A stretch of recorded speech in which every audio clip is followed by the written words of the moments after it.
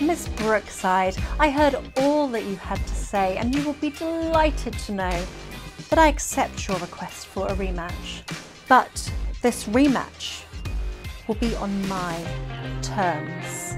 Yes, that's right, I have arranged an oh so special stipulation for us. Whoever loses the match, I'm sorry, when you lose the match, you will have to become my personal assistant for one whole month. Oh, thank you. That could be you. And all will be right with the world when you are finally the one to carry my bag.